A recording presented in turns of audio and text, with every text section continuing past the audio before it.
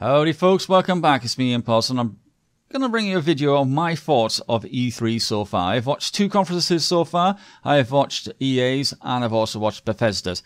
Let's start off with EA at the moment. EA wasn't a fantastic conference for my I think. It wasn't bad. Don't get me wrong, it wasn't bad, but it wasn't brilliant and it wasn't crap. It was just okay. Uh, there was a few things I was quite uh, really looking forward to. The fact that they got FIFA again with a campaign, that's quite interesting. I don't like FIFA at all. I'm not a, FIFA lover. I love football. Don't get me wrong, I love football. I love the fact that Wales um, uh, so far on top of my group in the European Championships. Wales, um, you know, ahead of England, and they drew. oh, sorry, sorry. I might get, uh, I might lose some supporters now. I might lose some uh, subs, or I might gain some. You never know. But I quite like the fact they've got a, uh, a campaign. It's virtually a campaign. It's brilliant. I quite like that idea. However, I just don't know. I've never been a fan of FIFA. It's a game which I've never ever liked. Titanfall 2. I loved the look of Titanfall 2. It looked exactly the same as the first one. I quite agree with my friend Blues and Twos, but it was really good. Uh, it put in the campaign which I've always been asking for. Fantastic. I like the fact the campaign is slightly different, if you know what I mean. Yes, you got a pilot and uh, the Titan. However, this Titan was joined with a pilot. This is not the original pilot. He, uh, normally, a Titan would bond with his pilot. He's chosen him uh, because he had to choose him because he was the only one around. So the Titan bonded with him, which is quite interesting. I never realized they could do that. So it's something. It's something to know about the Titans, which is absolutely fantastic. They bond with their pilots, which is a good thing. So great. That's absolutely brilliant. That's something I was really looking forward to to find out what it's all about, and now we're going to know it. It's going to be fantastic. The fact that PS4 are now going to be able to play this, which is a fantastic idea. They should have done it in the first one. sorry, sorry, I need to relax. But I will be getting that on the PC. That's one of the games I'm definitely going to get. Uh, other games, not so forward, but Battlefield 1, yes, I definitely have to get Battlefield 1 because I loved the look of it. I loved the fact that they showed those three games after the conference with celebrities and uh, pro gamers and YouTubers and creators and conference are all playing in a 64 man, uh, 32 v 32 game mode on Conquest on the maps. And to be honest, it was absolutely fantastic. I loved it. It was brilliant. I enjoyed it.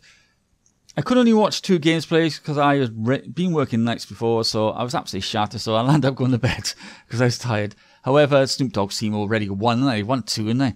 But I, I just don't like I, I do like it. I do like the fact that he got a big, huge Zeppelin coming in. But the fact only the losing team has it. So it's I know it's supposed to make it a little bit fair, so you don't uh, you know give you a chance to win the game. But at the end of the day, as my friend Blues and Two said, if your team is winning, they deserve the win. You does not deserve to have it taken away by a big, huge Zeppelin. yeah. However, while watching the two games, it didn't quite work out for the other team because they didn't win, did they? they lost. So it may not do as much as people are fearing. However, it does change the map. When it lands and crashes, it will destroy buildings and um, vehicle. If it lands on a vehicle, it will destroy that vehicle as well. It will destroy infantry. It re- it's absolutely brilliant. I like that part. It's fantastic.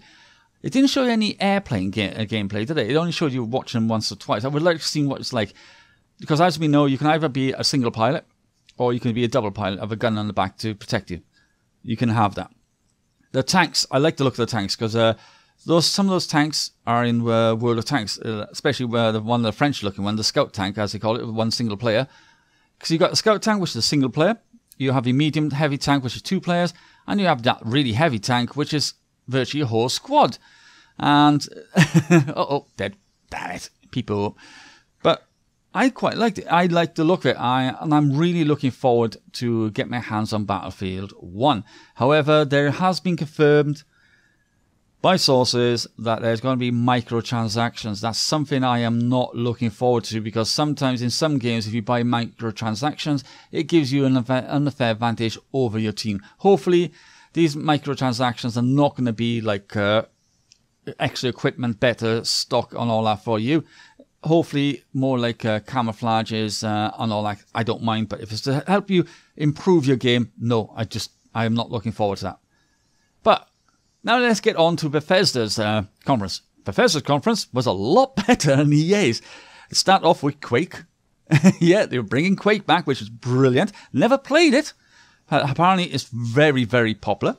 So that was a really good thing to start off with, and it's going to be really, people will be able to play this game in QuakeCon, which is fantastic. Then they also went on to Doom, saying about Doom, which is brilliant. They're saying all the support they were going to be doing for Fallout 4, all the Fallout games, the new Fallout thing. Then they went on to Fable, Fable Legends, well, not Legends, for Fable. Oh, God. Elder Scrolls, Elder Scrolls Online, where they going to concentrate on a lot on the Elder Scrolls, concentrate on the new game mode, Legends, which is a card game, which is fantastic. These are all good things. They're also bringing the. Then going back to Fallout 4, they're bringing out uh, a new, you know, the Fallout 4 shelter is coming to the mobile phones. yes, it is. The iPhones, oh, sorry, I hiccup and also the Android phones. I got an Android phone, so I could be able to get that. And it's also free to play, which is fantastic. Uh, then they went on to just about to mention Dishonored, weren't they? And he said, oh, but before we do that, let's show you uh, what I had to do. And he, I was called to do something else. And he brought something else on. And looked at the trailer. This bloke kept waking up, doing for a second. He woke up again and woke up again, woke up again. I thought, what's going on here?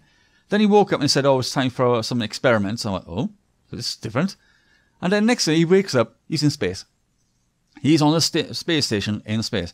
And it turns out uh, the space stations where humanity was there set up just to try to improve themselves, you know, to get better understand themselves, to better humankind. However, it's got invaded by aliens, and he's the only one left, and he has also some mind power. So this is going to be quite interesting. I'm quite liking the look at it. It looked absolutely fantastic, and I really, really am looking forward to it. However, I'm hoping it's not me one of these games where I really look forward to it, and it turns out to be a dud. which has been quite a lot, quite a lot lately.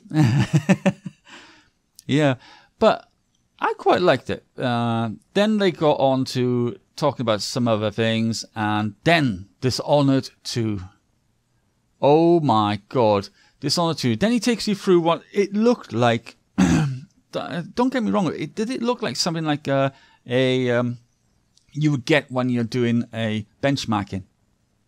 It looked like that. You were just going through the maps, through different places, looking at people. It's like a benchmark kind of thing, wasn't it? And he said, "Oh, that's your in-game uh, look at your in-game." And I thought, "No, it's not. I haven't seen anybody playing it. I haven't seen anybody do anything. so how can I be in-game? You're just showing us the you're just showing us the world. You're not showing us any gameplay." And then they showed us some gameplay, and it was absolutely fantastic. I loved it, and I've never played the first one. And I wished I had because it was absolutely fantastic. However, if you do pre-order this uh, uh, Dishonored 2, any copy, it doesn't have to be the special edition which has that nice mask and also the ring. It could be any copy for limited time only. You'll get the Dishonored, the remastered one with all uh, with all the uh, DLC out in the game. And I thought, oh, that's quite interesting. However, it's coming out on uh, November the 11th, isn't it? it's also the same time as Call of Duty's coming out. Yeah, you know I'm not. Yeah, you know I've gone against Call of Duty. I hate Call of Duty. Yes, I've got since Call of Duty Ghosts. It's really destroyed me. However, it's not that. For me, I want to get my hands on Modern Warfare, COD 4.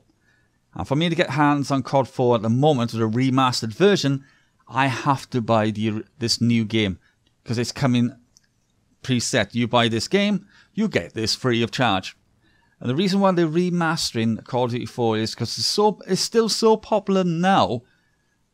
They're trying to clean up the servers and get rid of all the hackers, so it makes it a more skillful play game once again and more fun to play, which I think is a fantastic idea. But I wish they could sell that game on its own, not paired with another game. but overall, I enjoyed the whole conference. So, what do you think of it? Did you enjoy Fear? Uh, uh, well, Prey, I should say. Did you enjoy Prey and did you enjoy the Dishonored trailer? Because that's the two I enjoyed the most. What else did you like? Did you like the fact that they're still supporting all the other games and also giving you a lot more mods to help mod them, which I think is brilliant as well. So let me know in the comments what you thought of the EA and also Bethesda's uh, conference, and hopefully I'll get another video up very, very soon. But until next time, it's me, Impulse. Hope you enjoyed this video. Please, please let me know in the comments what you thought of EA, because it'd be most appreciated to see what if you thought anything like I did. But until then, catch you later, guys. Bye.